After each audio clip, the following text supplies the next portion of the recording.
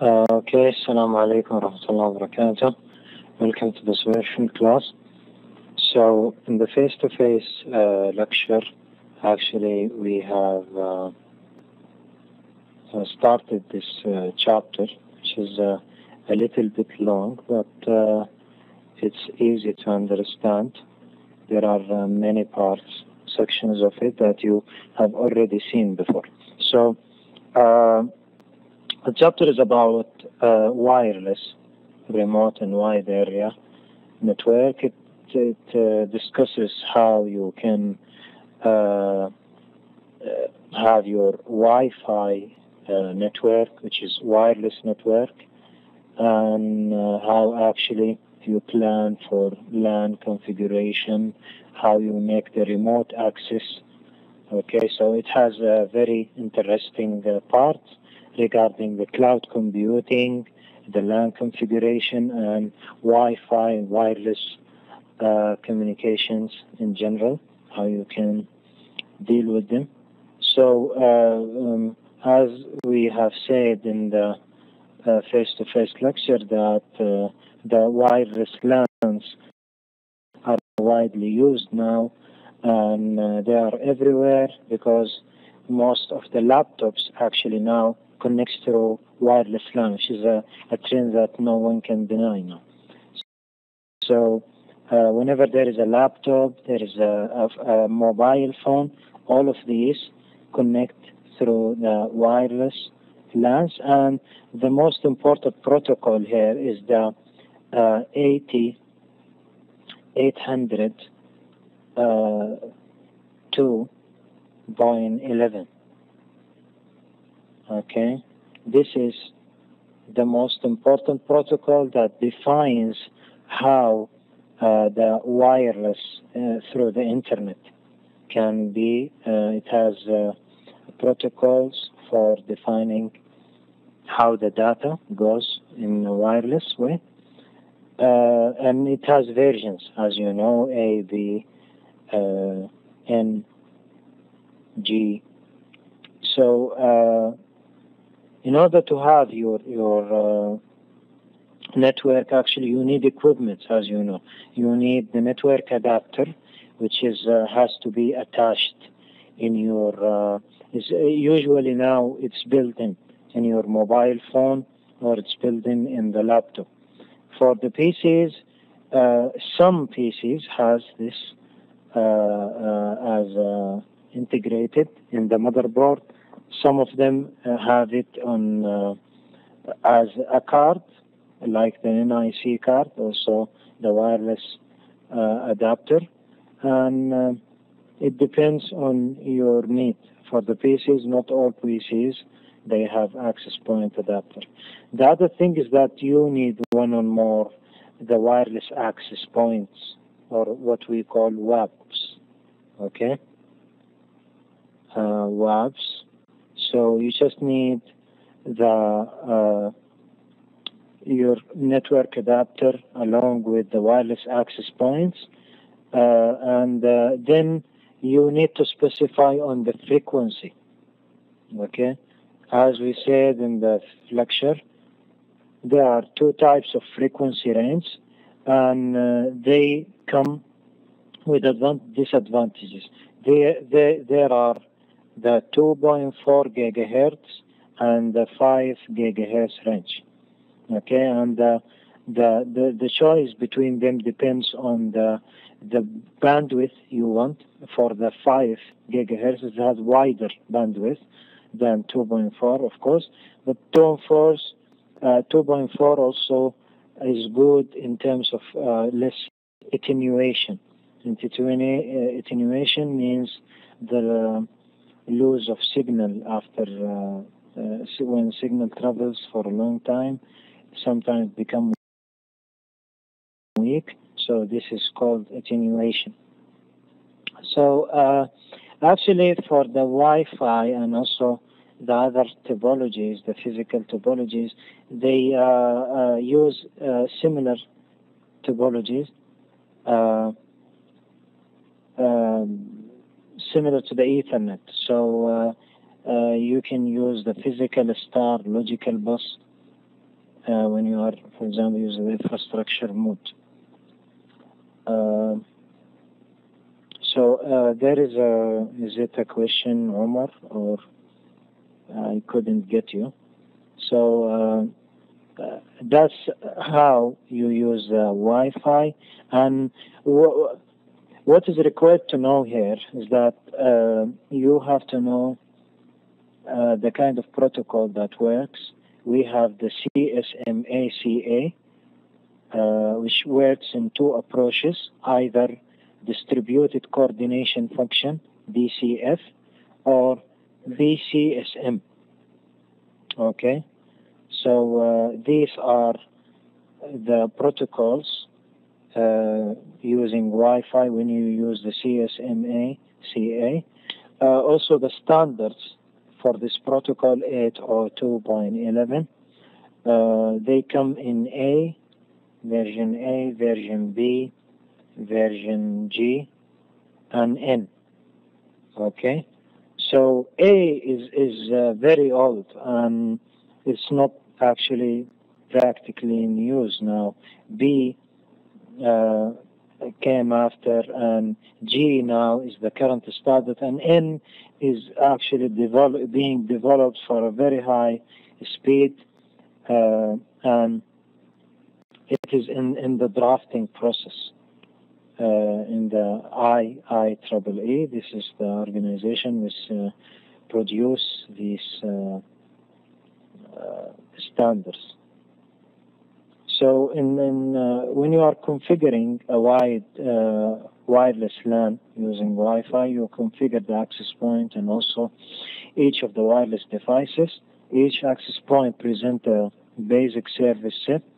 Multiple access points constitute an extended service set, and the specific procedure for configuring uh, a WAP are um, manufacturers, um, model, um, specific typically configuration option include uh, the internet connection information and local network information, uh, wireless.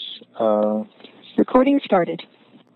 Wireless configuration and uh, wireless security, network security.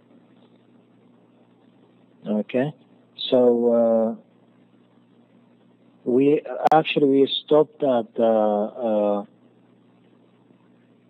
when we are using the remote access.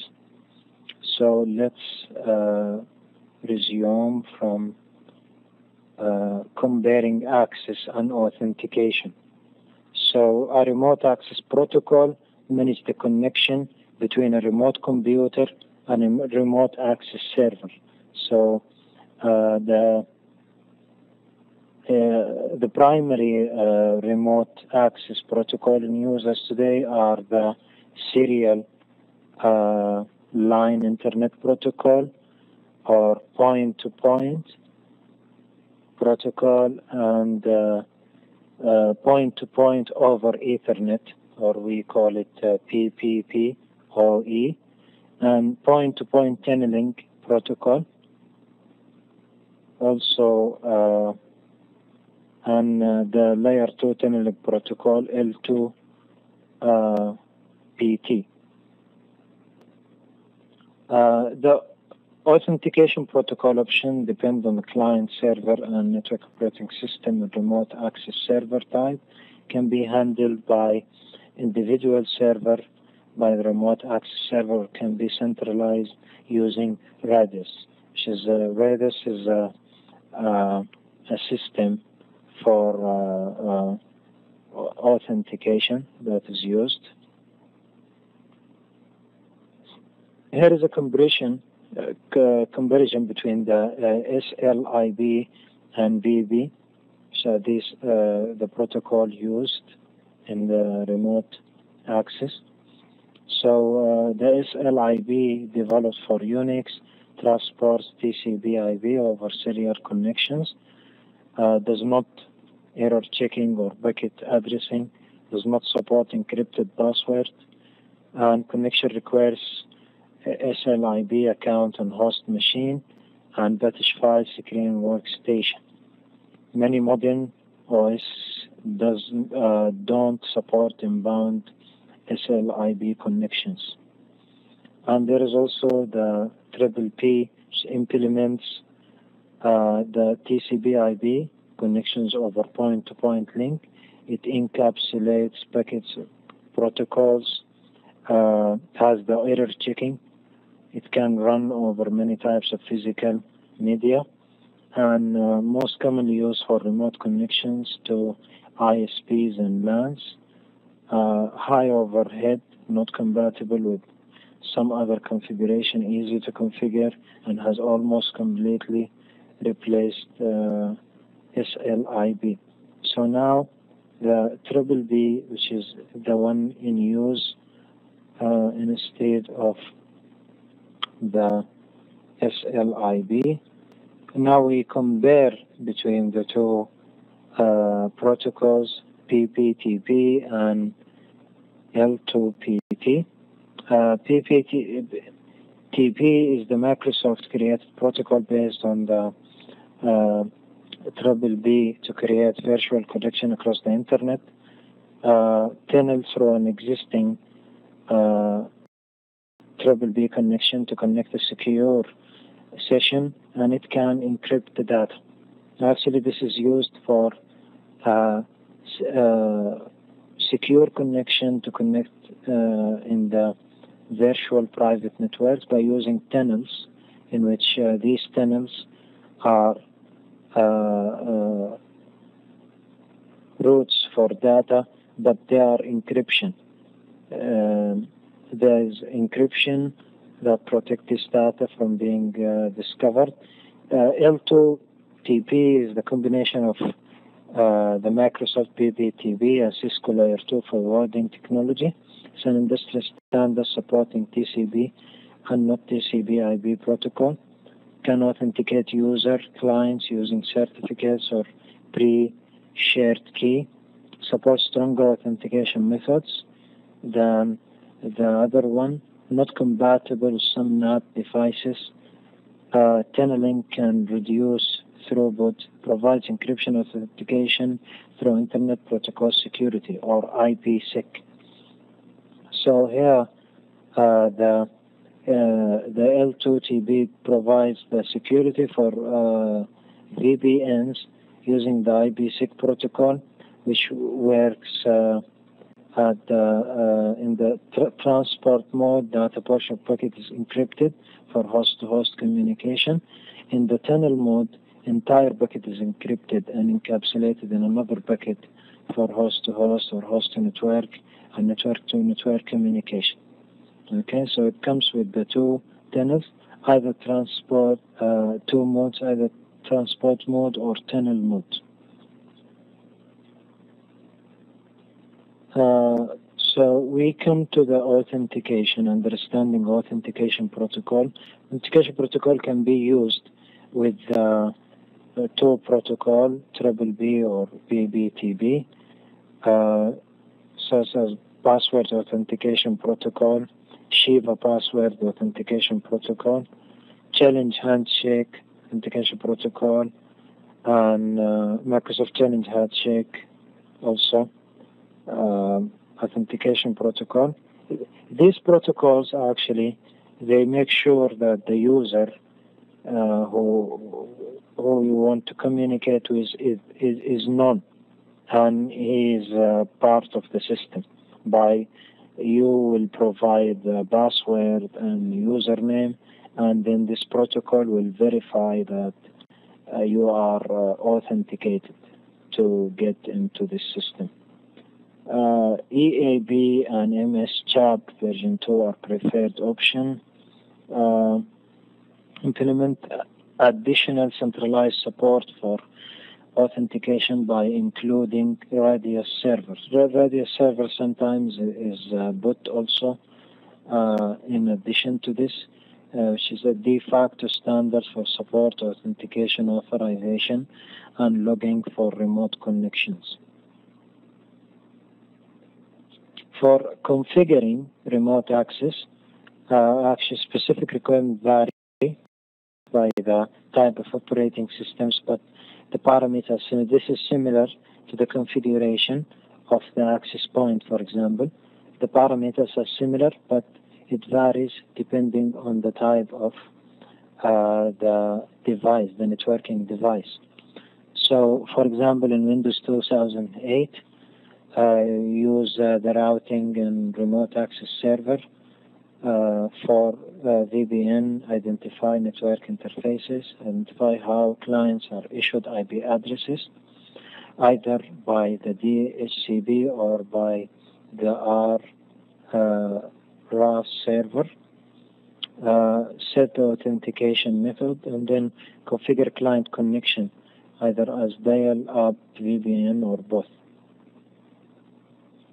You can see here the available network interfaces in which uh, these are the configuration you see uh, in Windows. These are the our server pro properties, our security tab, which you can specify the options here. Okay. So these the authentication modes and advanced security settings, either logging using extended authentication protocol or uh, whether you want to allow these protocols that I have mentioned or not. These are all, we, all about uh, settings and how you configure. Joining uh, LANs into WANs a LAN become a WAN when traffic between the network process through a public uh, carrier. Consider variables when planning a WAN, number of LANs you need to connect, geographical uh, location of the LANs, number of computer in each LAN, implementation budget, network operating system, network servers and services, and bandwidth requirements. This is what we think about when we want to join some LANs into one WAN. Okay. And here you see the internet VPN. Uh, you can make uh, a VPN using the internet, make it into a WAN. So uh, here we have a LAN, and there is an office in another city, for example, uh, connected in a WAN. So we can connect all of them and Uh, forming uh, uh, uh VPN1, okay, private network, but it's one using the tunneling uh, by VPN, in which this is the tunnel in which the data will be encrypted. Here, the data will be encrypted either in two modes, yeah, by using IPsec. Yeah, that's right. So IPsec can can encrypt the data uh, actually end-to-end encryption, or they uh, it can be on the tunnel mode, which encrypts the whole communication.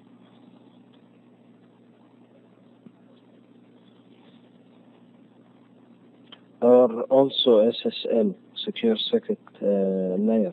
So you can tell me, uh, Nasser, what is the difference between uh, SSL and IPsec? Actually, the difference only lie in the uh, layer. So the SSL works in the near the application layer, but the IPsec uh, is an implementation uh, that can be uh, very low at the network layer. Okay.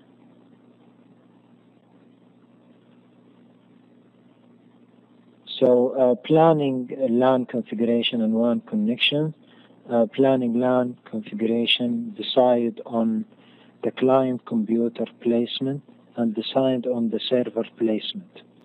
Okay. Uh, you consider the type, full-time or part-time connection, balance cost and support. And then planning the WAN connection, uh, supported by wide variety of connection types. Uh, technically, a VPN connection and NAT are set up. Connection can be made over one of three network types, either circuit uh, switch network or dedicated circuit network or sw- packet switch network. Okay.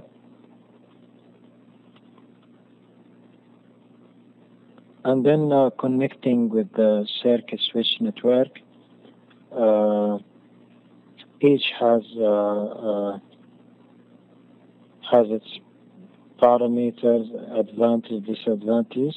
Either you can connect with the circuit switch network or dedicated circuit networks.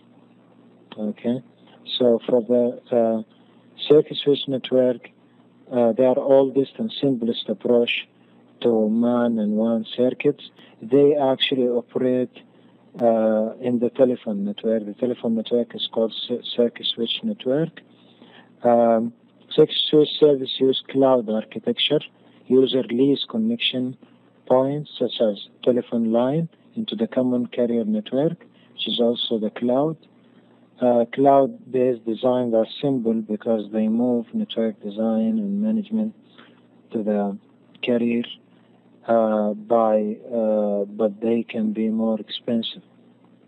Uh, two types of uh, services, either POTS or ISDN.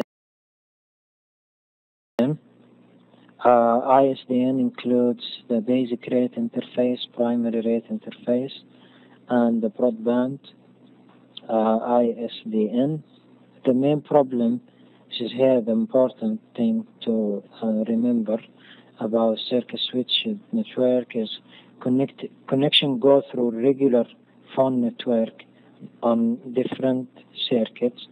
Data transmission rates on the circuits are usually uh, low uh, can be expensive if services are provided on a pay-per-use basis. So here, the problem is that there could be expensive service. If the pay-per-use is a business model in which you you you pay according to the amount of usage you you make, okay, which is uh, found in the telecom sector in which uh, uh, when you use uh, the internet, okay, or uh, when you make a call, actually, uh, the, you you will be charged depending on the duration, the duration of the call. So this is called pay-per-use uh, business model. Um, here you see the connection in the circuit switched network. Now let, let, us go to the dedicated circuit network in which you will be dedicated uh, uh, the route, not like the uh, so dedicated circuit network. Their circuits are leased from common carriers at a flat rate, and they uh, run through carrier cloud. But the network behaves as if you have your own physical circuit. So you would rent the circuit, all of it, it becomes like it, if it was yours. Uh, user then installs equipment needed to connect computers and devices the circuit, including the multiplexers and uh, or channel service units. Uh, use a combination of three architectures: ring, the star, and mesh, and provide two types of servers uh, on or services. The T carrier circuits are the most commonly uh, used form, uh, and also the synchronous optical network or SONET uh, are the ANSI uh, standard high-speed dedicated circuit servers.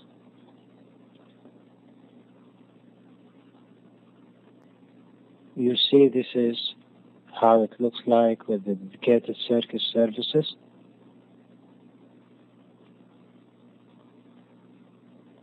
These are the characteristics which uh, the speed, designation, and the carrier designation, uh, the services of SONET or SDH. These are different uh, types with varying speeds. Uh, Yeah, you told me that you don't have these slides.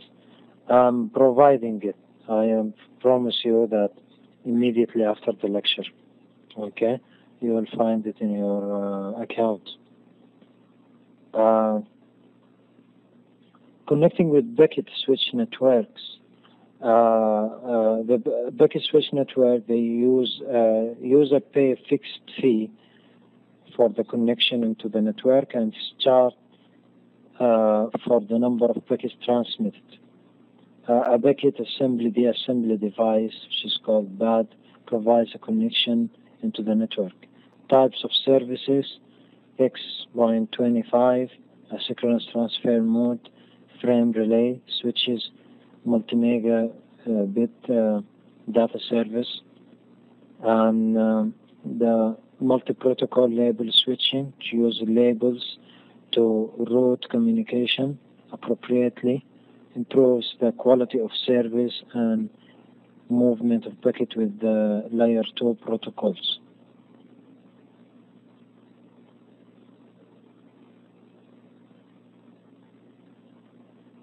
So uh, these are the types of uh, packet switch services.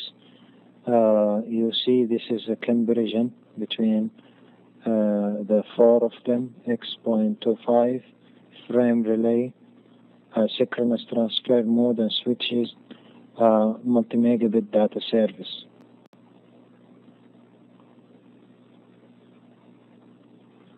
So this is a comparison between the two uh, X.25 and ATM, which this is here the source, destination, and you see how uh, the network works in the direction of the traffic.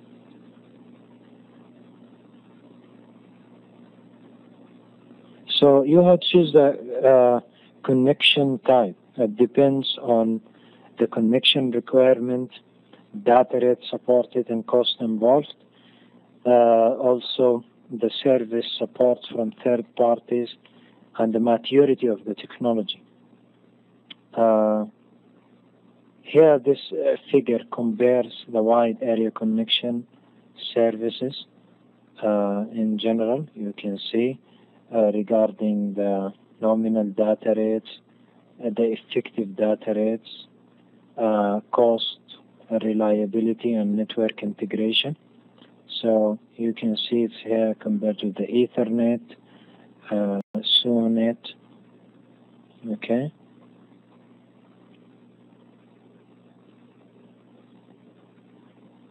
and uh, here the WAN connection recommendation uh, according to the uh, network needs there is a recommendation for use for example for the very high traffic needs uh, ethernet if available and uh, sonet if network volume is stable and predictable otherwise you use ATM so these recommendations uh, to help you design the WAN and to choose the right uh, protocol for it.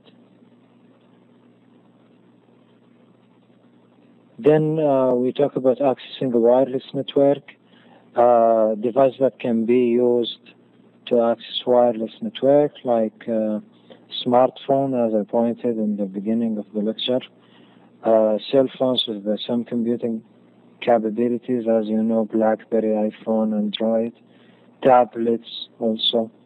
These are the recommended uh, devices that they usually have no option uh, uh to get into a network in another way. There should be only a wireless connection. Like tablets also coming from many vendors. And the, the last thing in this chapter is about cloud computing. So cloud computing, uh, in it, it provides uh, everything as a service, in which uh, organization purchases service from server provider that has a large network of hardware capabilities to provide services to client. It allows access to service without the expense of acquiring and maintaining a large infrastructure. So the main uh, uh, benefit of using cloud computing is that when uh, uh, renting the infrastructure is more cheaper than buying them. Okay? When you don't want to buy servers and when you don't want to buy storage, you don't have the budget to uh, keep all of this running with the IT department and technical support. All these are costs. Sometimes you might be provided with all these services uh, with a lower cost. So here you can consider the cloud computing in general. Uh, the type of services provided, such as software as, as a service, uh, development services, utility services, commerce services. Uh, yeah, it, it can provide you with infrastructure, hardware, software without you having this. Uh, so uh, for the front end, we mean by the from the client side, they must have access to the network containing the cloud, some kind of client hardware, appropriate software to access the cloud service. For the backend, it includes the server storage devices and these devices covered by server uh, service providers. You just need to have the front end, which is the machines only, that will let you to get into the uh, uh, into the cloud.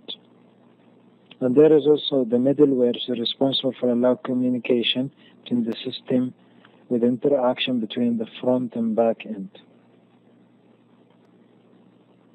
Okay, so uh, this is all about this chapter, and I'm I'm going now to upload it for you in the Blackboard. Okay, so do do you have any questions before the end of the lecture?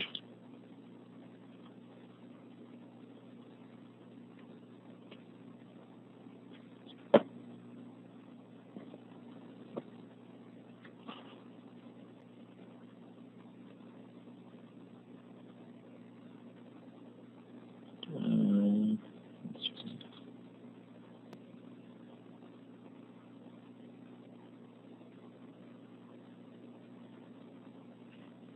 Okay, then thank you uh, for attending. See you inshallah next week. Goodbye. Recording stopped.